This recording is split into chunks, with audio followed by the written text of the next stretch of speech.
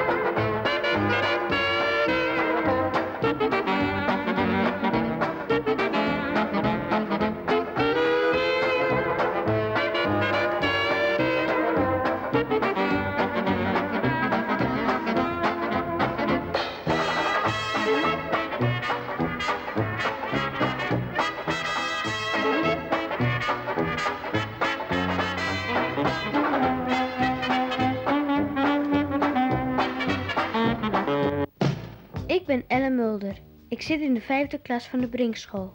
We gaan eens kijken hoe het in 1977 toegaat. Dit is de juf van de eerste klas. En dit is de juf van de tweede klas.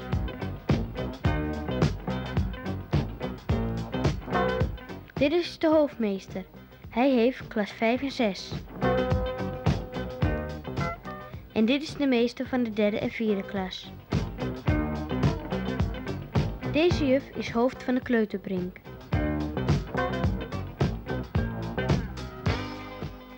En dit is ook een juf van de kleuterschool.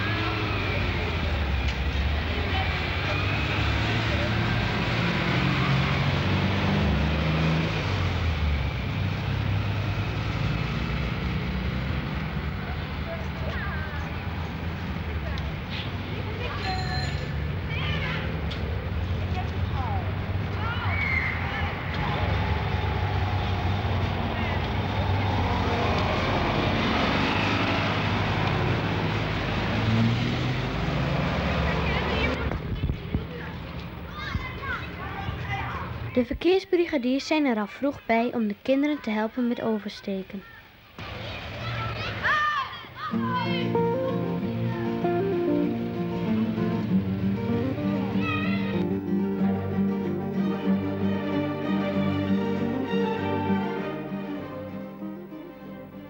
Voor schooltijd spelen we allemaal graag op het plein. We doen vaak in groepen allerlei spelletjes.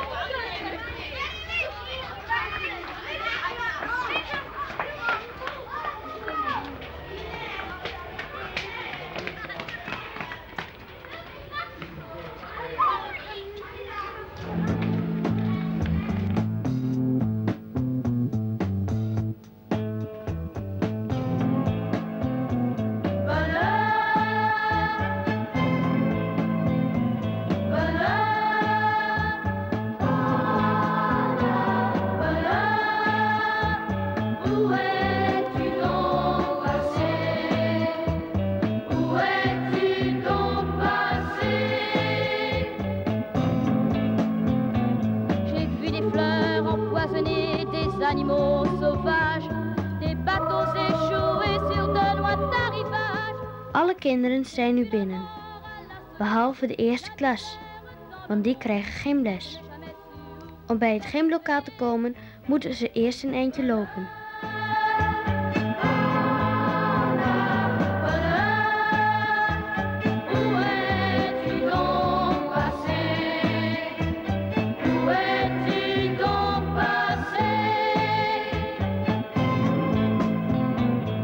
parcouru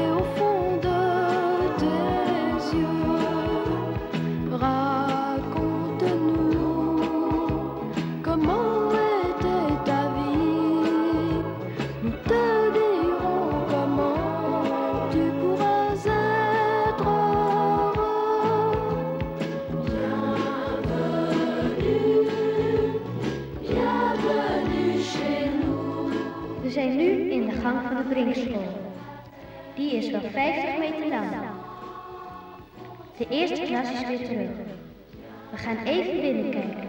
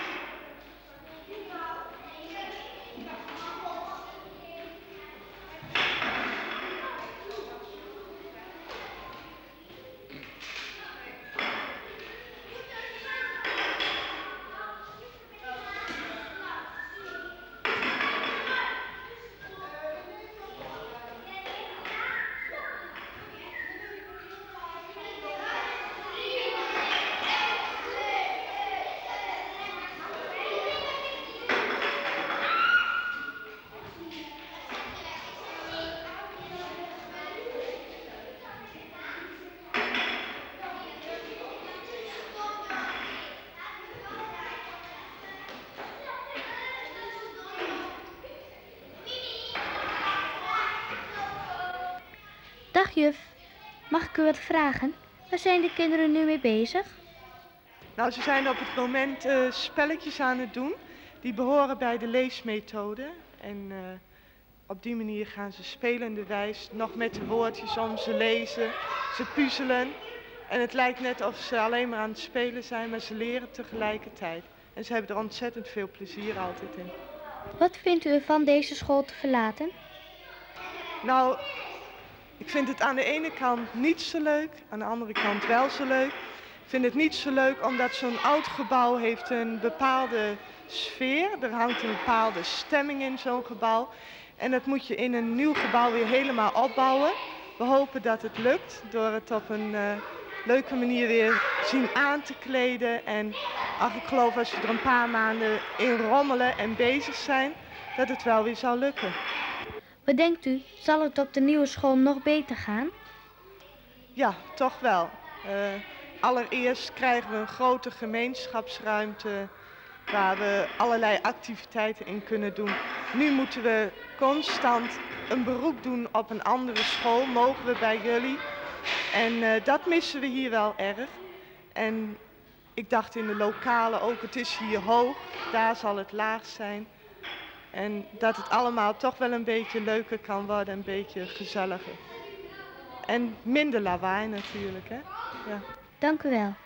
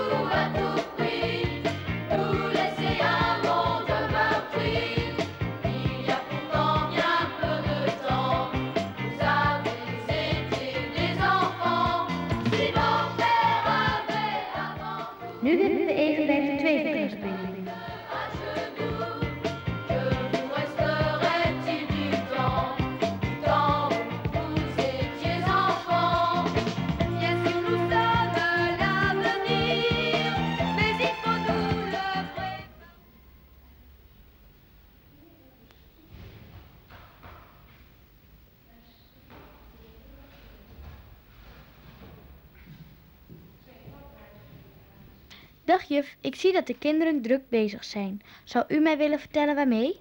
Eh, de kinderen die zijn nu aan het schrijven en wij zijn zo'n beetje aan het herhalen van de hoofdletters, omdat dit nou het eind van de tweede klas is. Aan het begin hebben ze een schrift gehad, dus daar hadden ze de hoofdletters voor het eerst. En nu herhalen ze ze. Dan krijgen ze ook allemaal zinnen, hele zinnen. En eerst kregen ze alleen maar woordjes met hoofdletters. U gaat straks naar de nieuwe school. Vindt u het jammer dat u hier weggaat? Ja, ik vind het ergens heel erg jammer, want ik hou van oude gebouwen. En eh, dit was een fijne school, alleen dat verkeer, hè. En dan is nog een nadeel, wij hebben hier geen gemeenschapsruimte. En dat missen we wel. Want eh, als er wat is, dan moet je altijd naar een andere school toe. En dat is een hele heisa. En het is veel leuker als je het zelf hebt.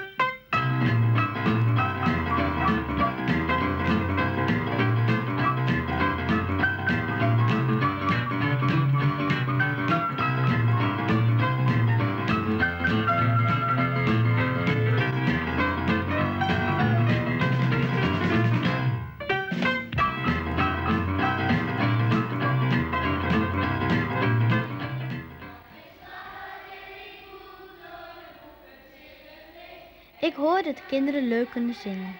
Doet u dat vaak met ze? Nou, geregeld. Ze zingen graag hier. En eh, vooral als ze wat bij uit mogen beelden, vinden ze het ook leuk. En zoals hier, dat ze eigenlijk zelf het, het liedje bepalen, gedeeltelijk. Dat vinden ze, nou, dat doen ze graag.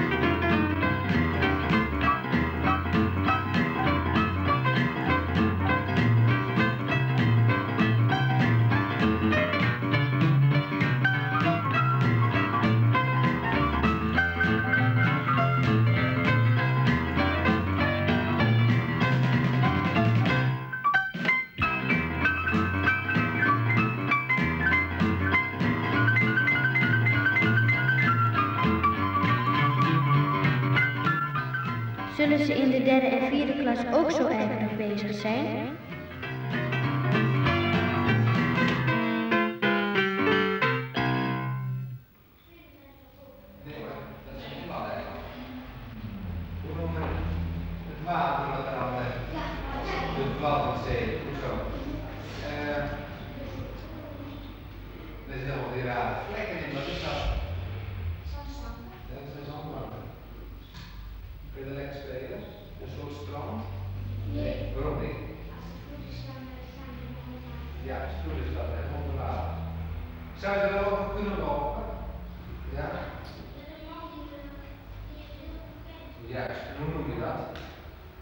Meester, wat bent u op het ogenblik met de kinderen aan het doen?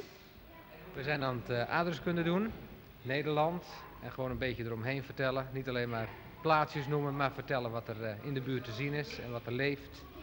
Wat voor mensen er wonen. Dat is het. Vindt u het leuk dat u naar een nieuwe school gaat? Al een nieuw gebouw is natuurlijk altijd fantastisch. Maar we hoeven het oude gebouw niet af te kraken. Ook dit was een fijn gebouw. Het is wel oud.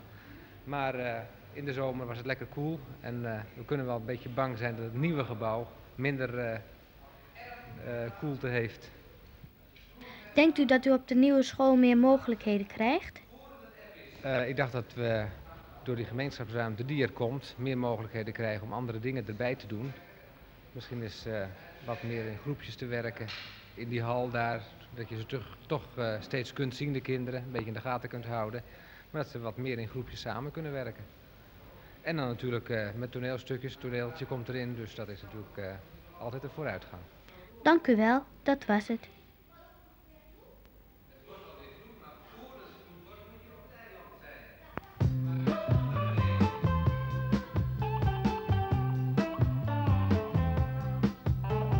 Juste une question.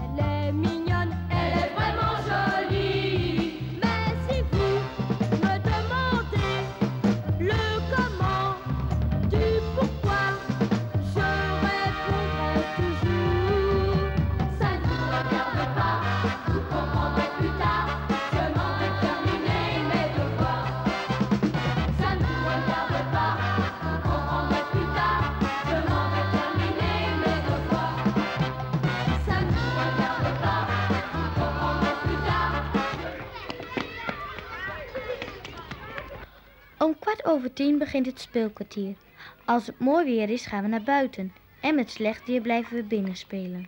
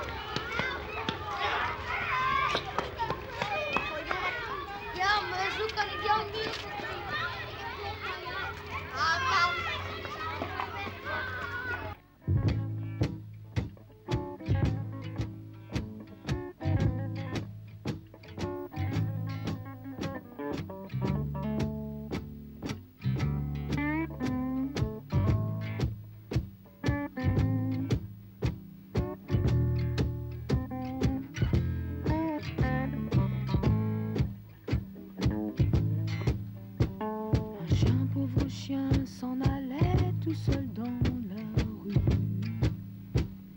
Perdu, un chien, pauvre chien, reniflait le pavé sans but. Perdu. Vanaf de derde klas is er één keer in de week zwemmen.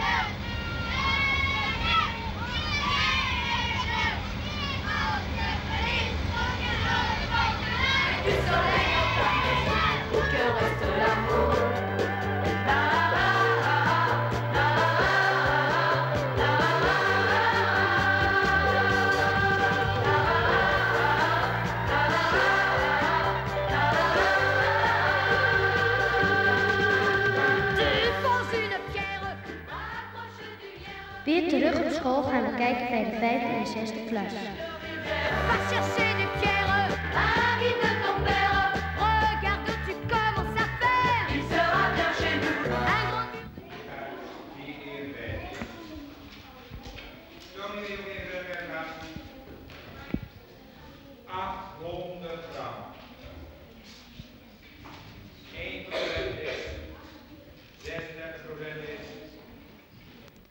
Hallo meester, ik kom eens even bij u kijken. Wat is de klas nu aan het doen? Eh, De kinderen zijn aan het rekenen. Een rekenles voor de vijfde en voor de zesde klas. Hoe gaat het in zijn werk? Eh, De vijfde en de zesde klas werken volkomen individueel. Ieder in zijn eigen tempo, ieder in zijn eigen... eh, zo vlug als hij kan doet hij het. Het is nu heerlijk zonnig. Wat denkt u? Zal u in het nieuwe gebouw nog veel zon hebben? Dat zit er wel in, maar er is wel een rekening mee gehouden dat het een zeer zonnig gebouw is. Omdat aan de zonzijde eh, buiten zonweer in komt. Vandaar dat je de warmte en de te felle zon buiten kunt houden, dacht ik. Un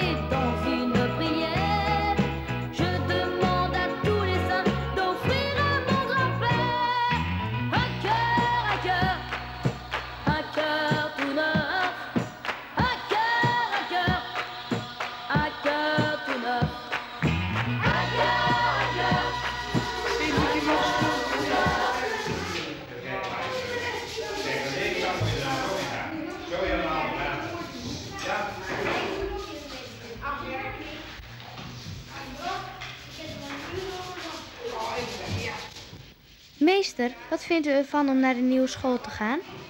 Eh, een groot voordeel is geen verkeersbrigadiers, meer ruimte. Want dit is ook allemaal leuk, maar dan hebben we meer ruimte. Meer mogelijkheden. Minder lawaai op de straat en meer van die dingen. En wat zijn de jongens nu aan het doen? Eh, de handenarbeidles, eh, wat meer is het handig worden, een beetje uitleven, eh, wat handigheidjes leren, wat vaardigheid krijgen en ze doen het bijzonder graag, dus dat is ook een belangrijk aspect.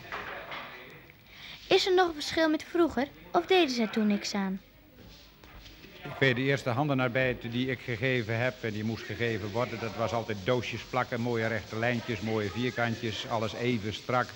De fantasie is veel groter en dat is eh, toch wel eh, erg, een he- heel erg grote vooruitgang, dacht ik. Wat denkt u? Zal het op de nieuwe school nog beter gaan?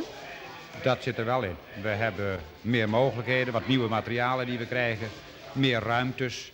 En eh, dat geeft natuurlijk allemaal weer meer perspectief. Je kunt het een beetje beter etaleren, het lijkt een beetje mooier. Dat eh, motiveert ook een beetje, dus eh, dat dacht ik wel, ja.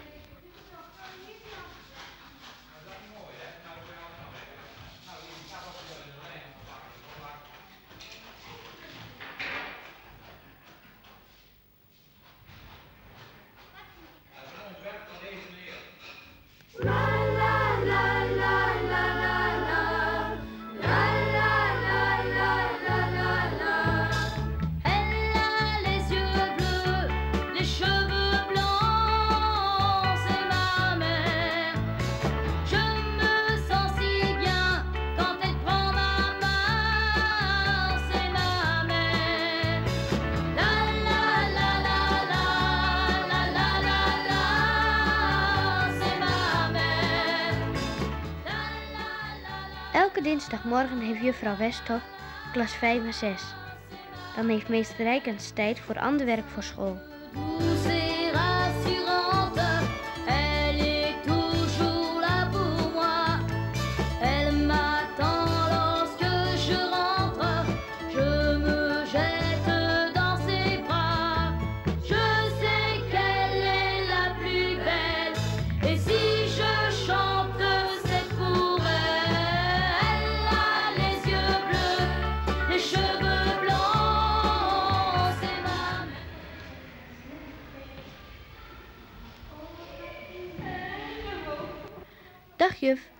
Vragen? Ik zie dat de meisjes aan het handwerken zijn. Wat maken ze? We borduren hier een lakentje. Ze hebben eh, hiervoor een pop gemaakt. En dan willen ze ze graag afmaken met een lakentje. Dan leren ze borduur steken. Ja, wat zijn dat leuke poppen. Die hebben ze dus al eerder gemaakt. Daar hebben we al voor gehaakt. Ze hebben een jurkje voor gehaakt. En een broekje gebreid. En nou ja, nu nog het lakentje nog, hè. Leuk. Bent u hier alleen met handwerken? Ja, ik geef maar twee uur handwerken. Wat vindt u ervan dat deze school leegkomt en de kinderen naar de nieuwe school gaan? Nou, voor de kinderen is het erg fijn om nieuw schoolgebouw te krijgen. Maar ik hoop toch wel dat deze school eh, bestaan blijft. Voor een ander doeleind. Dat hoop ik ook.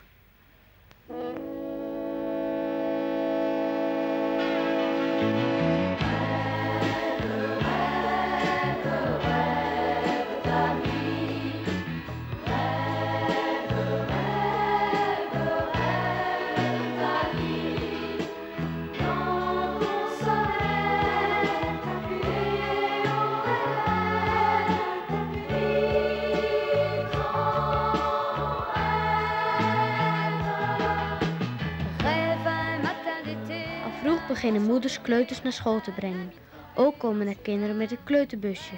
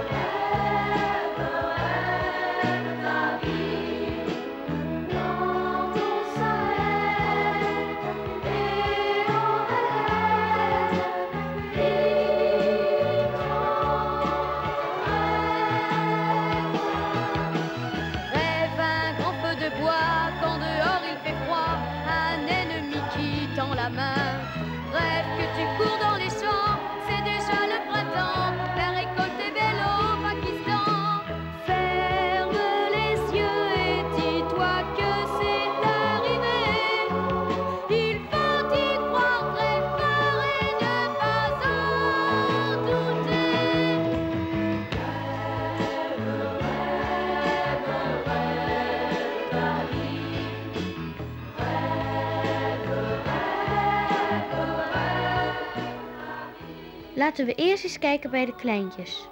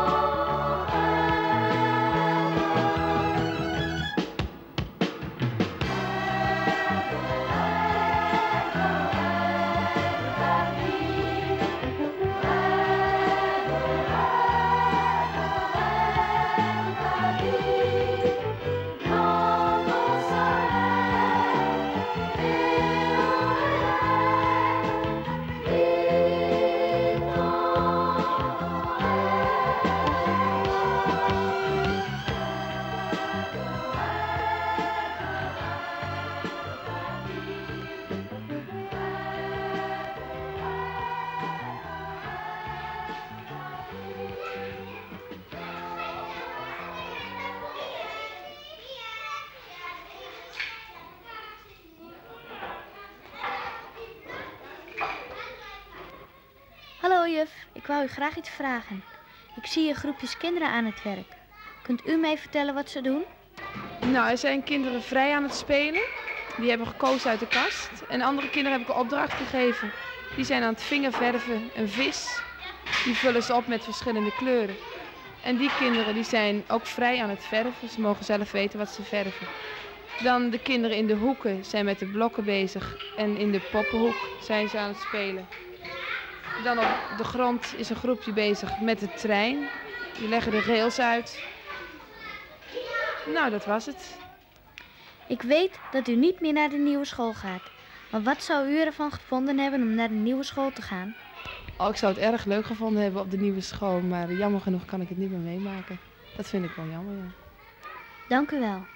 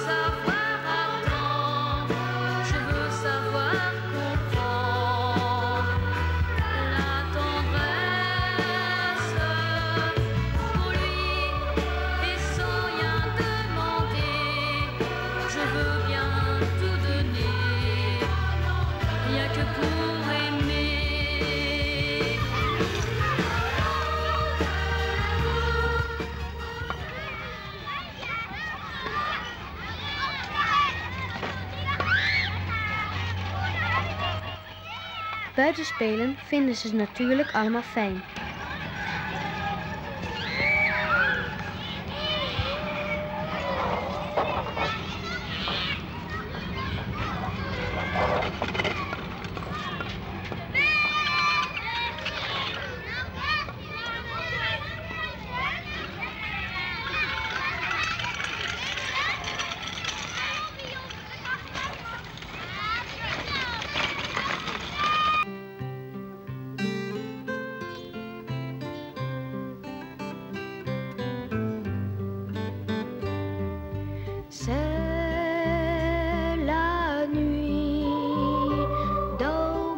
Andere klas is druk bezig.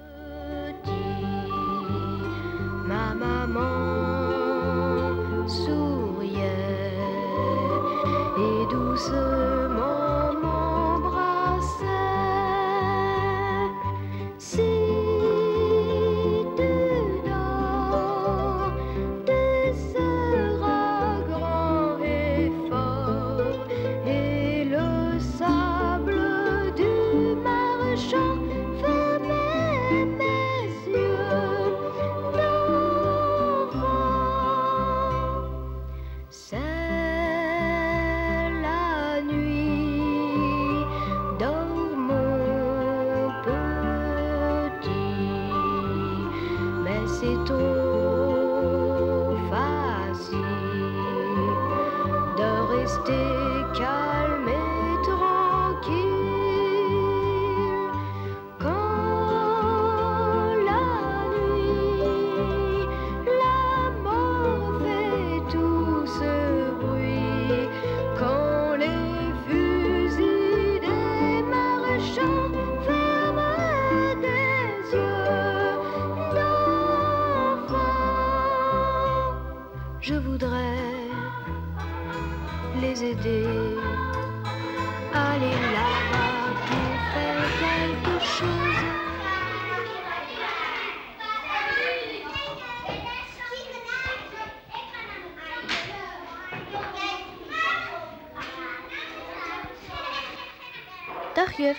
zie dat de kinderen druk bezig zijn.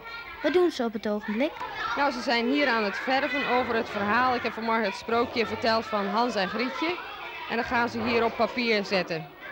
En de tafel daarachter zijn ze aan het knippen en plakken. En dan doen ze hetzelfde, maar dan met knippen en plakken. En eh, maken ze ook van Hans en Grietje. Dan de middelste tafel, die hebben bloemen gekregen. Die heb ik een keer van een kind gekregen. Die mogen ze opplakken. Ze mogen het in een vaas doen. Of ze mogen ze zo opplakken of met in een weiland. En dan de tafel daarvoor, daar zijn ze bezig met eh, spelletjes, ontwikkelingsmateriaal, tellen, eh, oog-handcoördinatie en klok kijken.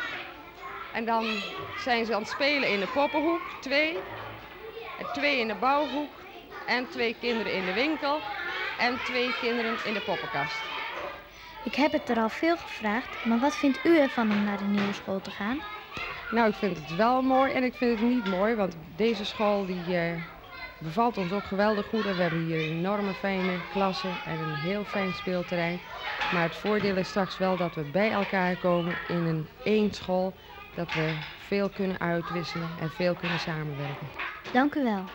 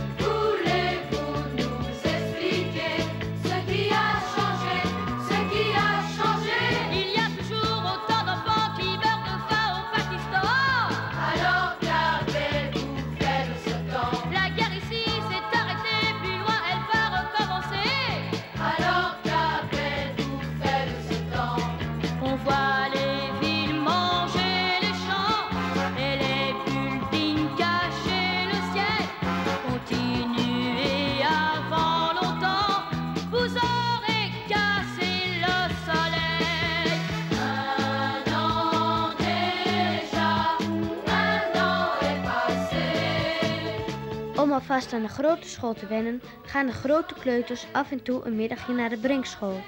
Dan mag de eerste klas nog eventjes weer mee terug naar de kleuterschool.